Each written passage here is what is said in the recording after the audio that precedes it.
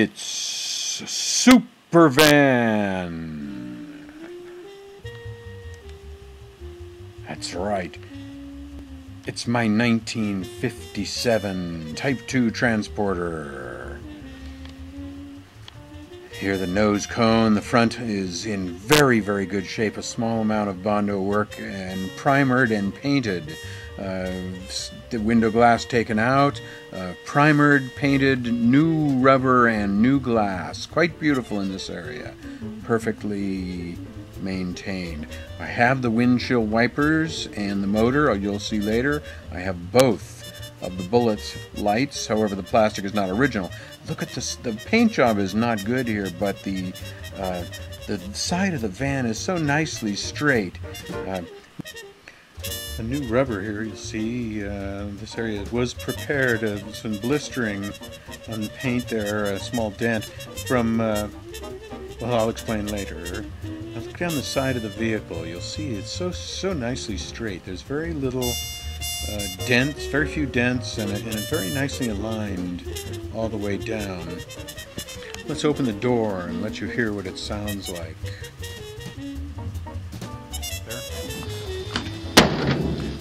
Yeah, that's nice. Um, and that doesn't even have the new rubber seals, which I have inside the vehicle here. Nice and straight down the side. Um, this area doesn't isn't damaged as it might appear. It's just a very badly done paint job, uh, something I did to kind of camouflage it from the neighbors. Um, slight damage, slight uh, dent right here, but uh, generally very, very straight and no rusting to speak of. This area the paint was badly blistered by that small brush fire. I had had this area um, lightly bondoed and primered and painted, but um, the fire uh, was just about 10 feet from the vehicle and no damage here. This looks bad, but it is only cosmetic, only paint. Vehicle's in good shape here. Uh, and it could have been worse because, well, you know, there's a gas uh, tank very near to this area. Here's the other butt cheek. Um, this this reddish is just spray paint, um, not any sort of rust. I had a light Bondo work done here. It was a very small amount of work and uh, primered, and then I, I did this red, brown, and green camouflage cover the bright gray primer that uh, perfect condition back here. Let, us look at the back door just a little bit and insert the church key and open it up. I want you to hear what the door sounds like when it uh, shuts. Perfect, perfect. Uh, very, very good condition back here. Everything is, is very nice.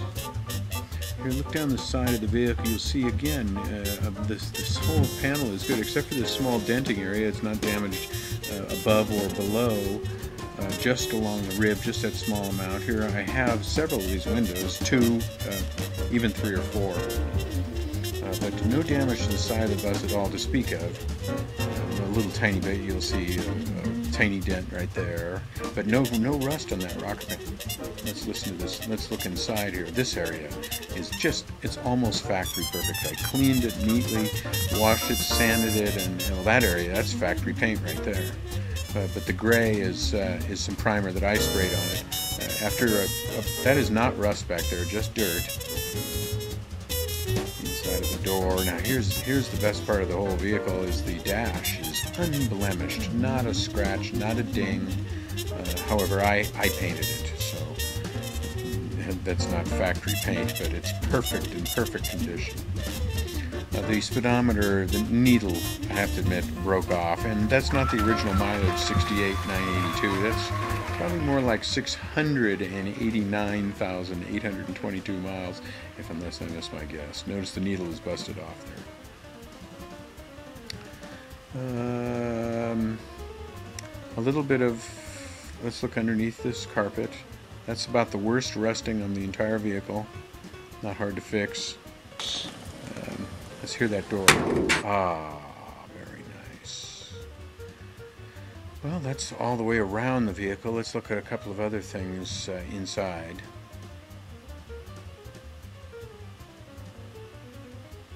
Ah, the heart of my Volkswagen.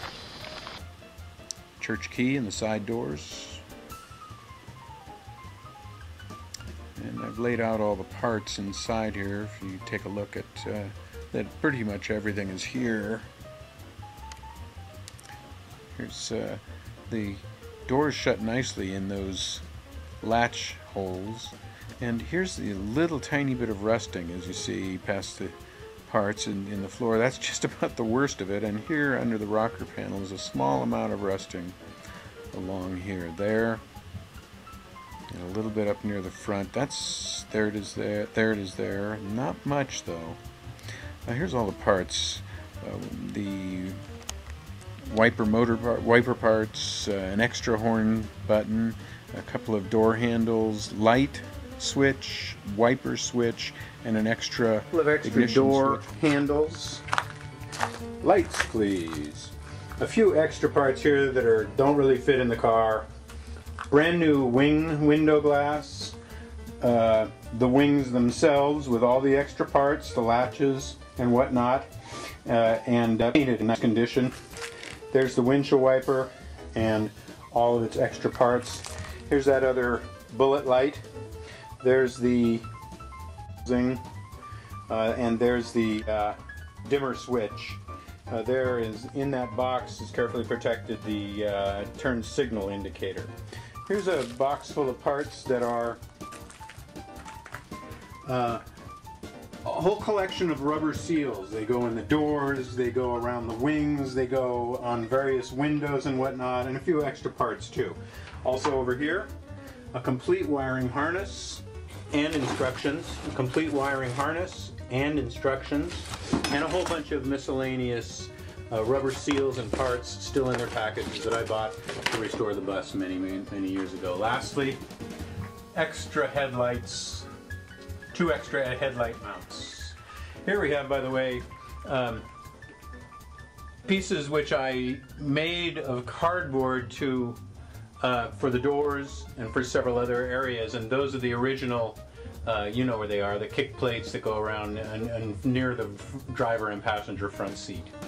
Well, that's the most. That's the car for the most part. A little fine rusting on the ceiling because I used a. Uh, I put a uh, latex glue there at one time many years ago to, to install a ceiling.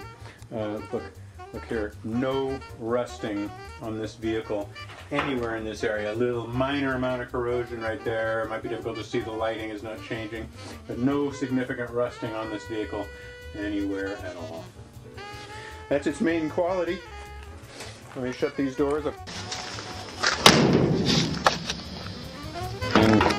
press it in at the bottom a tiny bit, and with the trigger key, it shuts and locks. Very nice. Thank you. Now here's the bench seats, which I had taken out to show you the good condition of the uh, cab area.